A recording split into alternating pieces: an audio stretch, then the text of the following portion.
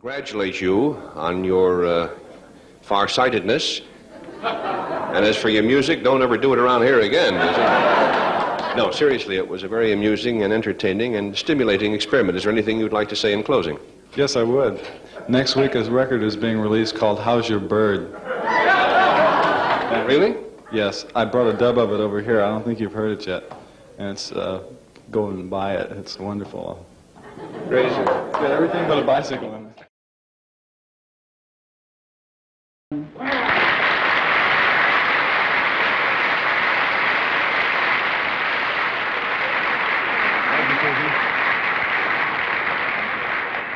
What actually belongs on everybody's table is needle and thread. I just broke a button as I was coming in.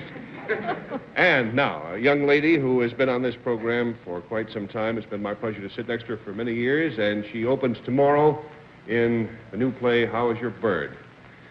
in Poughkeepsie, New York. Ladies and gentlemen, Miss Arlene Francis.